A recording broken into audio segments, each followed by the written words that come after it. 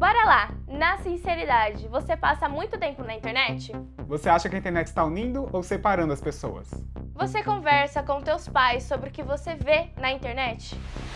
Oi, eu sou a Darren. E eu sou o Rô. Hoje nós vamos falar sobre qual é o papel da família no uso da internet por crianças e adolescentes.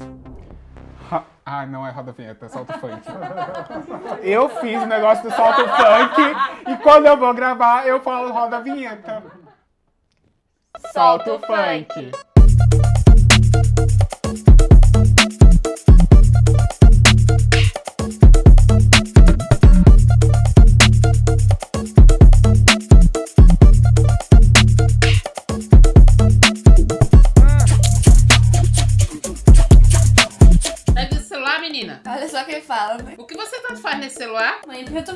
Negócio no TikTok. TikTok? É porque tem uma youtuber que eu sigo que ela sempre fala sobre antirracismo. E aí ela postou esse vídeo e eu tô assistindo.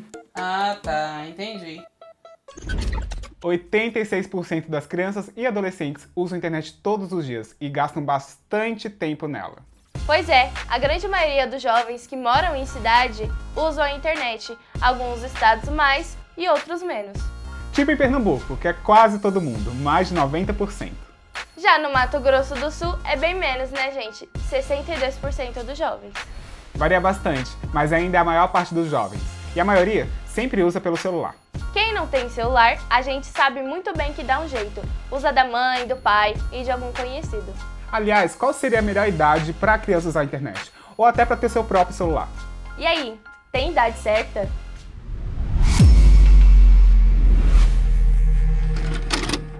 Difícil falar numa idade mínima. Desde criança tem jogos educativos, tem coisas que podem ser até interessantes, desde que usados com um limite, inclusive de tempo, é, ou mediados, né? Porque a internet, ela é uma grande praça pública, né? Então, você, pai, ou mãe, ou educador, educadora, né? Soltaria sua criança, sua adolescente numa, na rua, numa praça pública, sem orientação nenhuma? É difícil dizer uma idade mínima, porque depende muito do uso que se faz dessa tecnologia, né? Se for um uso mediado, com tempo limitado, tudo bem. Agora, entregar um celular nas mãos de uma criança, assim, que tem acesso à internet, e, e assim, isso é bem complicado, né? Entre as crianças de 12 anos, até 80% usam a internet mais de uma vez por dia. E entre os adolescentes, quase 80% usam mesmo a internet todos os dias. E quando usam, passam muito tempo por lá. Mas e aí? O que, que a gente tanto faz na internet? Pra que, que a gente roleza tanto na internet? Roleza é uma gíria? Roleza, gente. Basicamente, eu passo a maior parte do meu tempo mexendo na internet. O que eu mais faço é estudar, jogar. Eu fico mais no WhatsApp mesmo. É o uso de redes sociais. Você mexe aqui no Facebook, aí daqui a pouco você tem que mexer no WhatsApp. Aí depois do WhatsApp você vai mexer no Instagram. Que aí depois você volta pra primeira que você viu e vai assim por diante.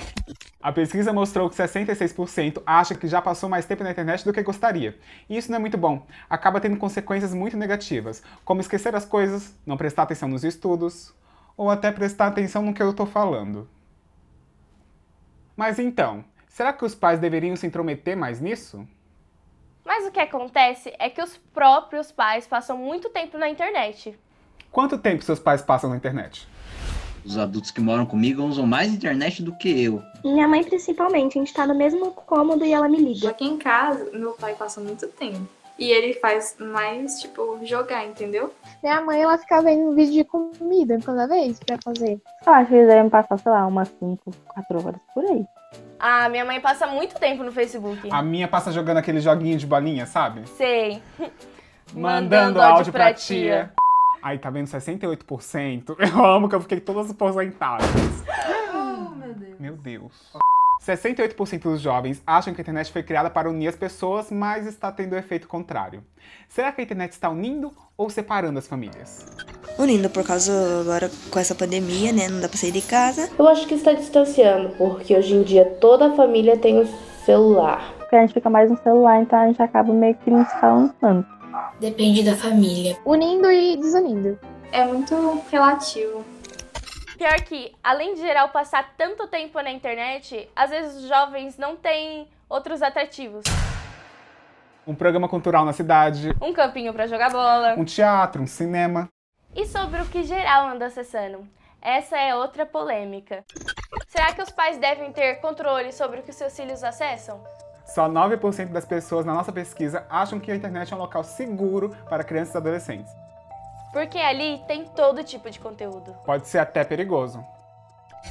Mas e você? Mostra o celular para seus pais? Não.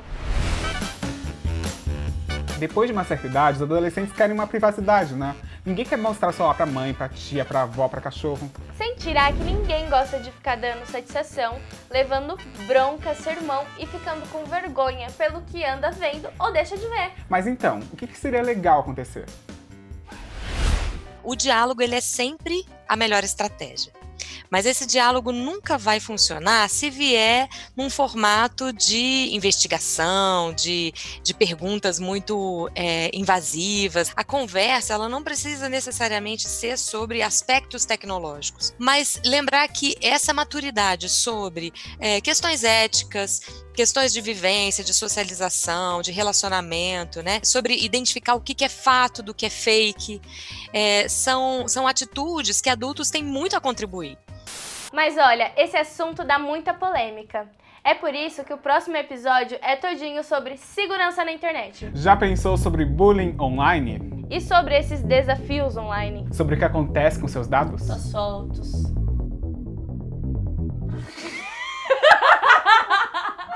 Sobre o que acontece com seus dados? Só soltos.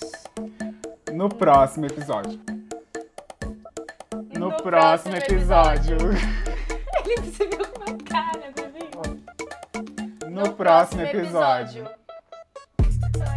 Finalmente!